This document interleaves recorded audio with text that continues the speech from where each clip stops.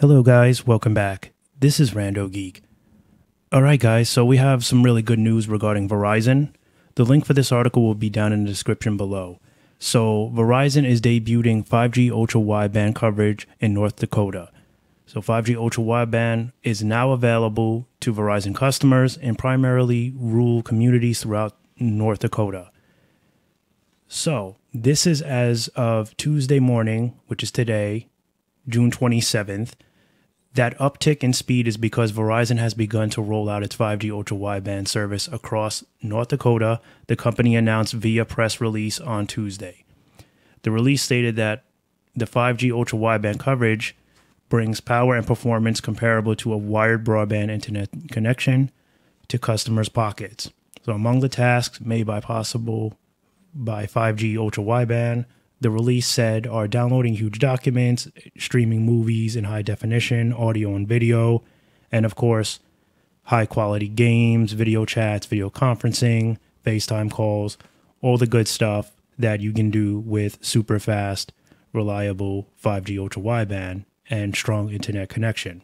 So, according to Verizon's website, the company was the first in the world to roll out 5G connectivity back in April 3rd, uh, 2019.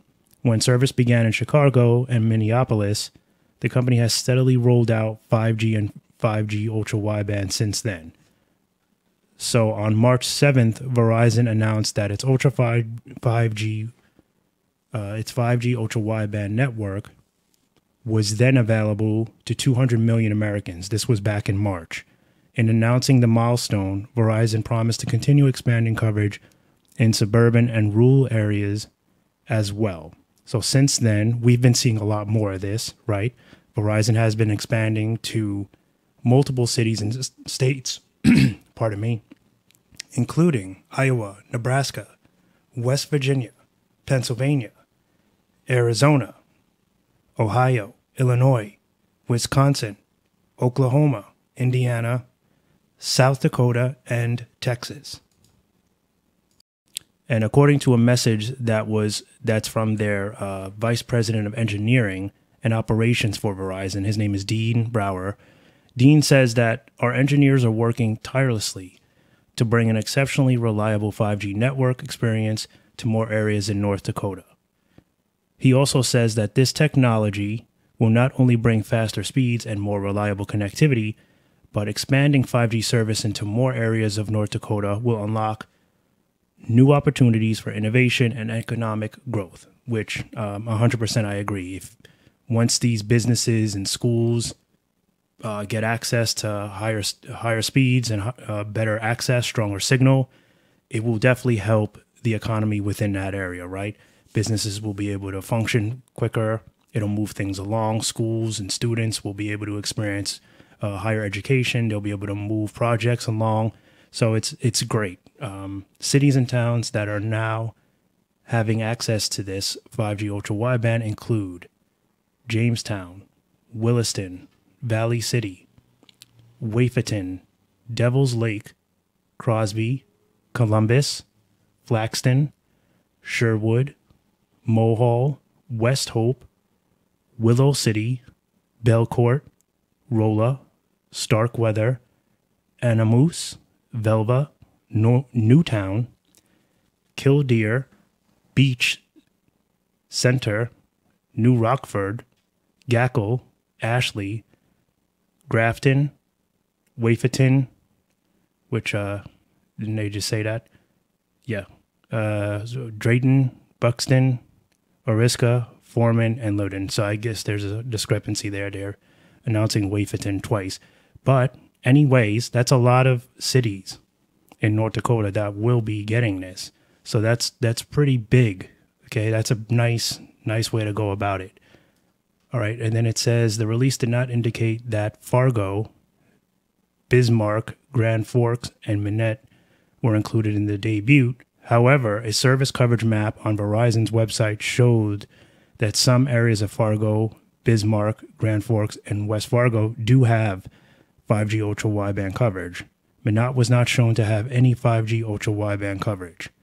All right, so um, in the article, you'll see that there will be a map that you guys can kind of look at.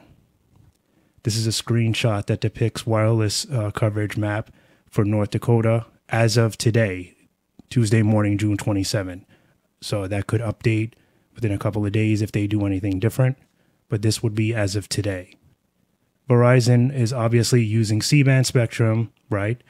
Um, so what's going to happen now is not only will North Dakota get 5G ultra wideband, but they're also going to get increased access to Verizon's fiber connections at many cell sites to carry 10 times more data than before. So more continuing continuing on with Verizon's 5G build out as they promised. Um, like I said in a recent video, I think they're definitely playing catch up. Um, I, am seeing a lot of their build outs.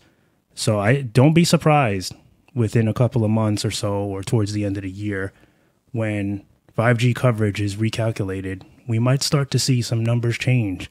We know that, like I said, T Mobile has been leading the game right now, but I think we might start to see some changes if Verizon continues down this path. They've been steadily upgrading many cities and states, which is excellent for them, right? So they're they're doing something right. This is one thing that they've been doing lately that I'm seeing a lot of, and I'm very impressed to report to you guys the you know the increase in deployments is real. Is it's definitely real. They've definitely turned it up a notch to get deployments out to many of you. So great news coming from Verizon. This is very big for them. You know, they're reaching more and more customers which ultimately will satisfy many consumers and also help them become a bigger 5G network. And hopefully, in return for them, will net them a much better profit towards the end of the year, right? More people will be signing up. So I think it's all around win for Verizon and consumers. All right, guys. Link will be down in the description. Please be sure to like, comment, and subscribe, and share if you want with someone else that maybe enjoys wireless updates and news. You know, that's what we like to do here, just talk about the carriers, you know, keep it honest. If you guys have any questions, I do my best to answer. All right, guys, I'm going to wrap it up here. As always, I want to thank you for stopping by and watching. Much appreciated, and I'll catch you in the next one. Bye for now.